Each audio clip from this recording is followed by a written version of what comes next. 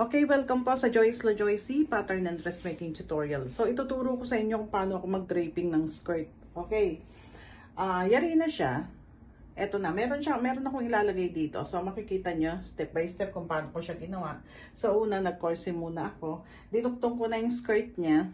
Ayan. So, naglagay ako ng, ano, ng pinaka lining niya para meron akong kakapitan ng aspili in case na mag ah, magde-design ako dito sa harap.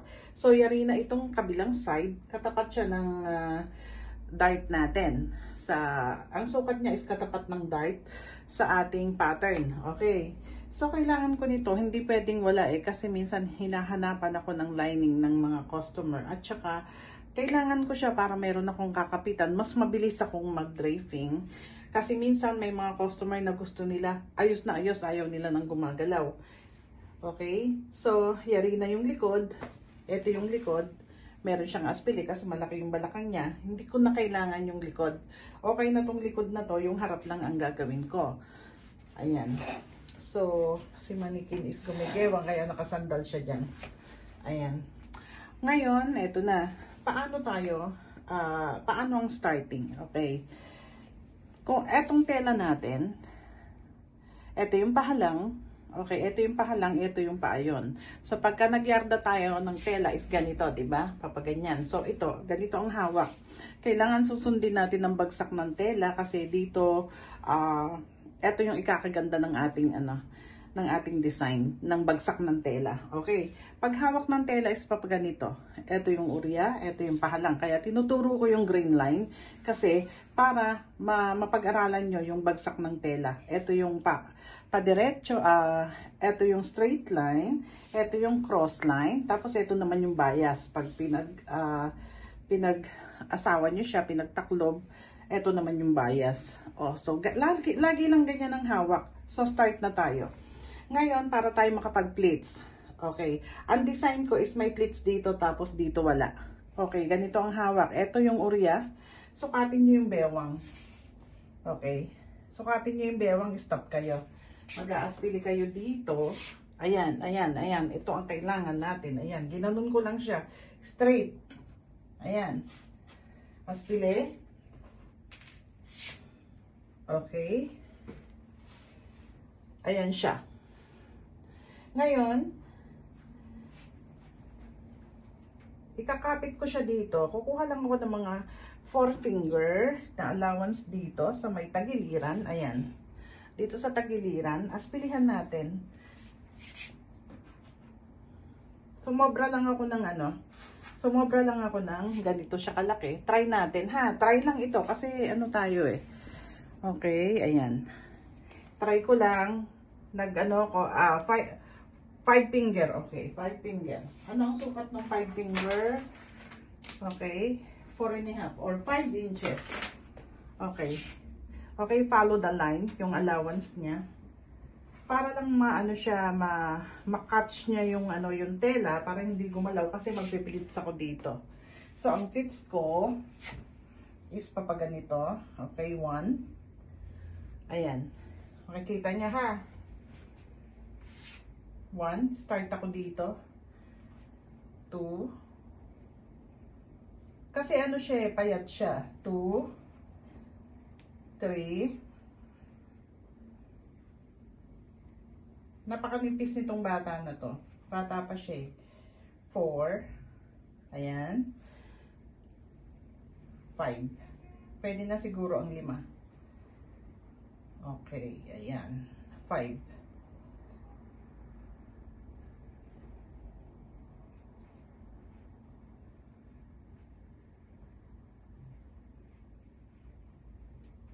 Ayan. So, aspili. Ulitin ko ha, bitawan ko. Okay, para makapag-aspili ko. Okay. Gumagalaw kasi itong manikin. Okay, one. Mahirap pag ano ng manikin pag gumagalaw. Okay, two.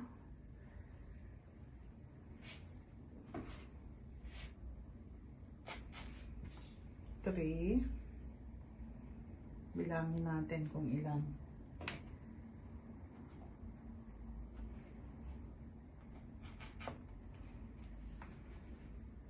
Four.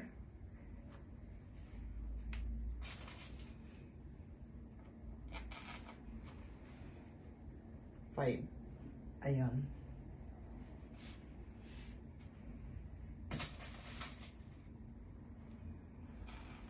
So, meron na tayong 1, 2, 3, 4, 5. Okay.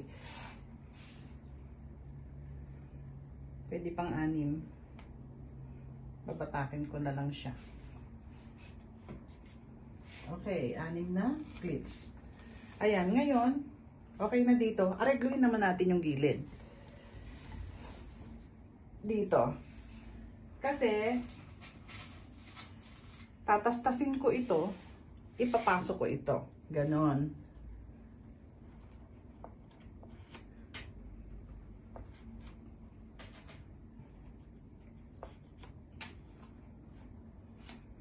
Okay, kailangan mahigpit. Hindi naman ganong mahigpit. Yung ano lang siya, relax na hindi siya magkukulubot. Okay. Meron siyang, meron siyang, ah, okay, ganito siya, oh.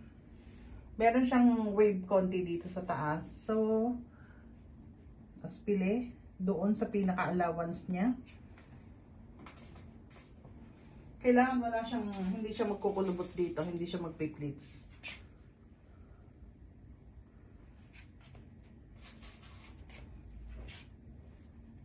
So para pagka sinuot niya, hindi na magkakaproblema, walang hangin or uh, hindi siya, basta naka-flat siya. Hindi naman yung sobrang-sobrang flat. O, oh, ayan. Okay, ayan siya. So pwede na natin gumitin.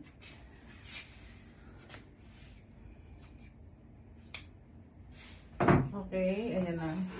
Mm. Ngayon ito, gugupitin ko siya ngayon. Kasi, eto slit na to eh. Kasi yung makita yung hita niya.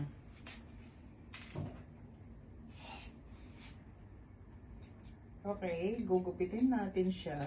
So, dito, pagka ganito yung gagawin nyo, marami kayong magagawang design. Hindi lang ganito. So, basta ganun ang way ng paggawa nyo sa tela. So, mapapractice nyo yan. Ka, kada gagawin nyo yan is makaka-create kayo ng iba't ibang, ano, iba't ibang design. Kagaya nito. Pwede nang hindi tanggalin to eh. Pero ako tatanggalin ko kasi gusto niya, kita agad yung hita niya. Wala ito. Ayaw niya ito. So, ganyan. Hmm. So, pagka ganito, dapat sa manikin nyo talaga siya ginagawa.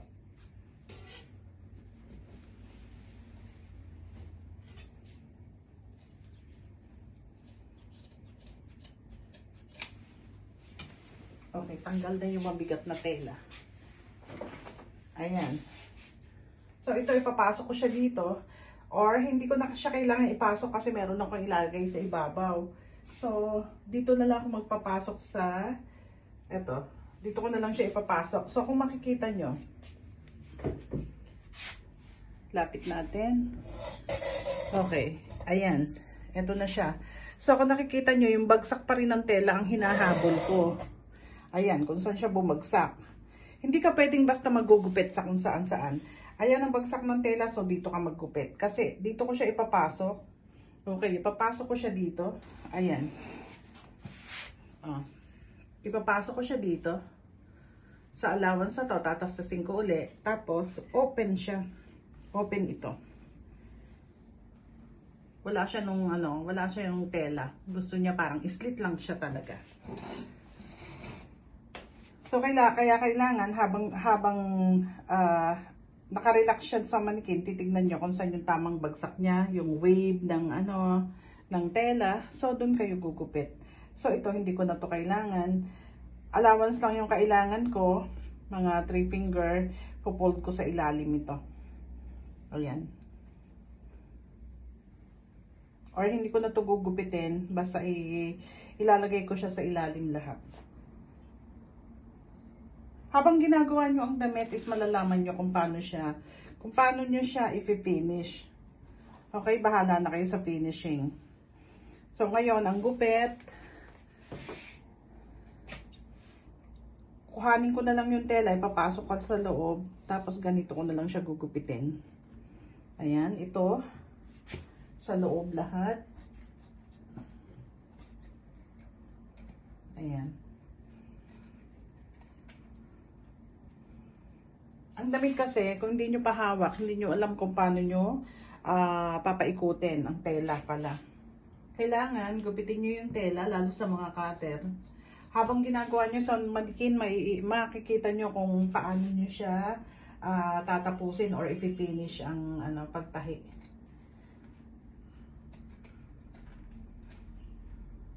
Okay, ayan siya.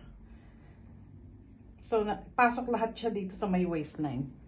Pwede ko siyang ibayhan kasi hindi naman siya mahalata dahil meron siyang ano, meron siyang bulaklak na papagap. Papasok sa eto.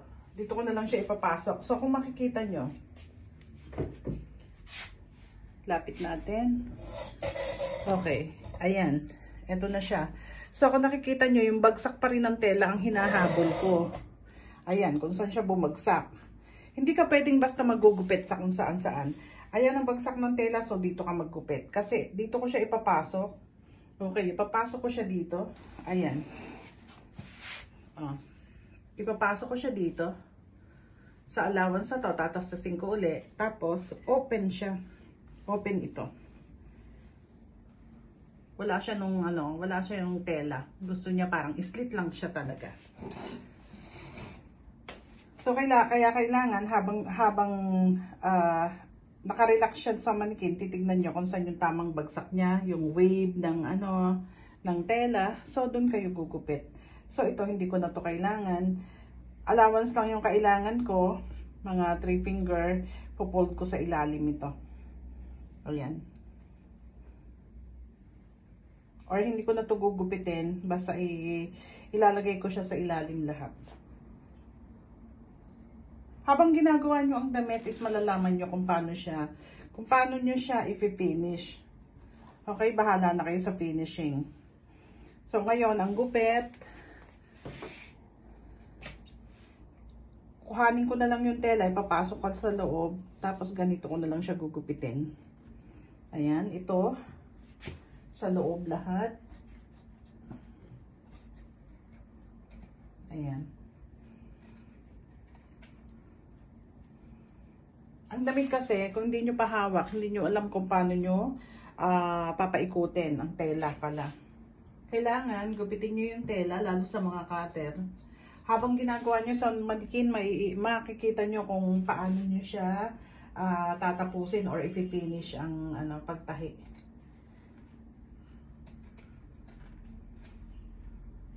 Okay, ayan siya. So, na, pasok lahat siya dito sa may waistline. Pwede ko siyang ibayhan kasi hindi naman siya mahalata.